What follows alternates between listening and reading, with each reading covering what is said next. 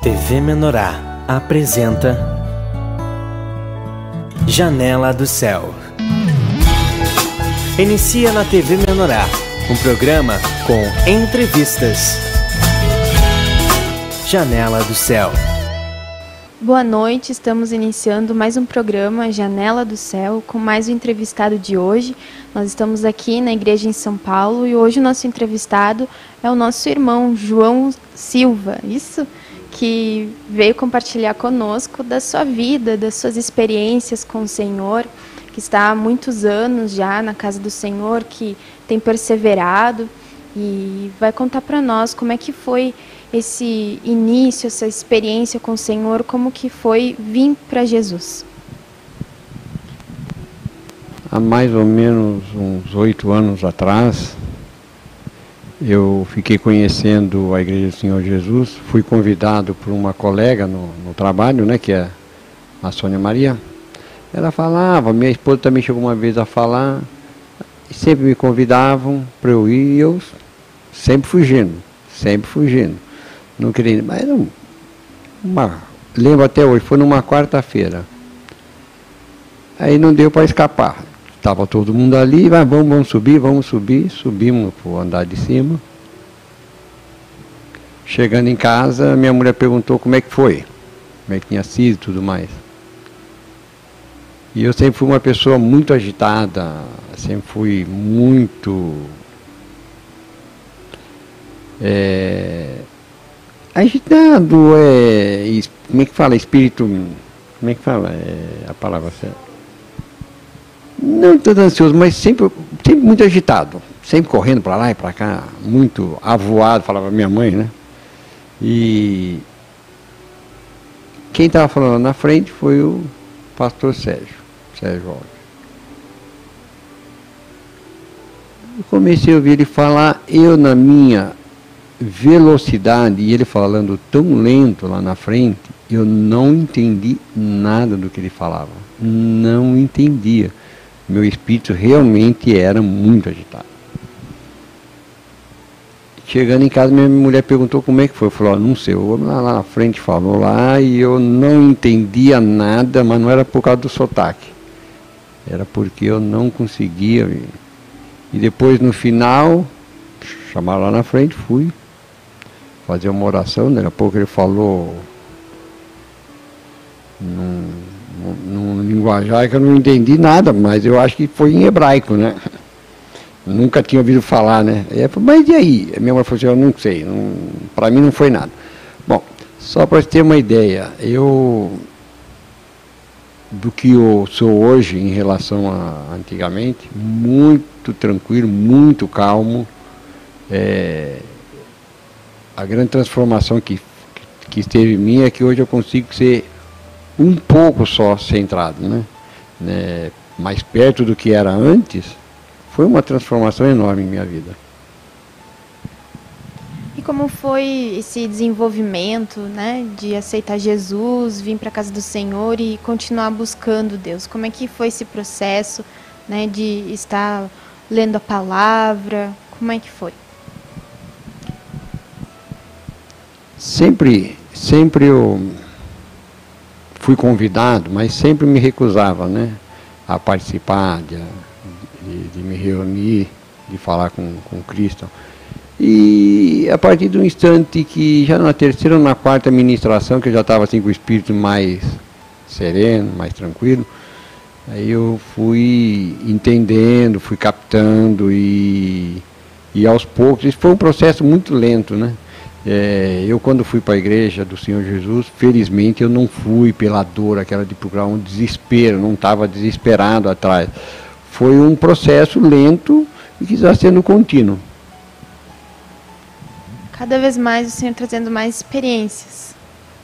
Com certeza. A, gente, a cada dia a gente pega mais experiência, a gente tem mais experiência sim. Amém.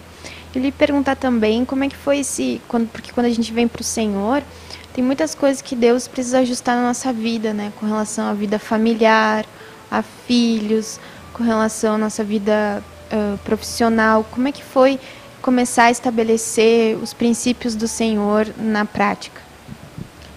Na parte familiar, houve uma transformação muito grande. É, filhos sempre dão trabalho, isso é comum, isso é normal.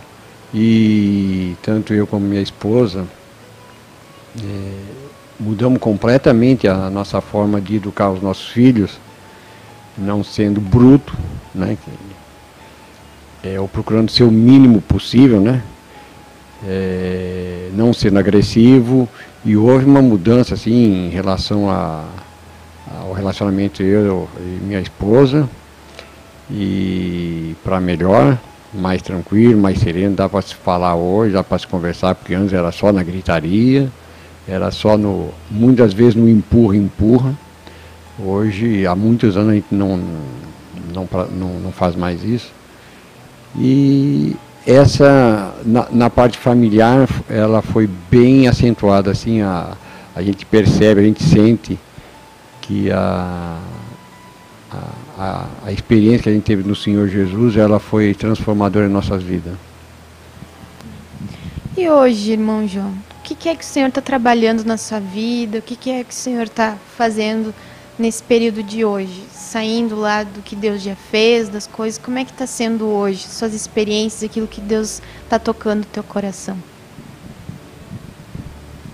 Olha, em várias áreas, na, na, na parte que eu já falei do mais difícil, são do em casa, né? Normalmente as pessoas têm os maiores problemas ou as maiores dificuldades, né, de, de de resolver os seus problemas é normalmente dentro de casa. E, e eu acredito que seja isso. E o nosso irmão, ele é taxista, né, aqui em São Paulo. E eu gostaria de perguntar como é que é essa o irmão evangeliza, né, tem contato com muitas pessoas. Como é que é essa parte de envolver Cristo também, né? Porque o Senhor não está somente em uma determinada área da nossa vida, mas é 100%, é constante, né? Deus trabalhando, mexendo na nossa vida. E como é que é que no trânsito, né, aquela loucura que é o trânsito aqui de São Paulo, indo oportunidade de ter contato com muitas pessoas, de evangelizar. Conta um pouco para nós quais são as suas experiências.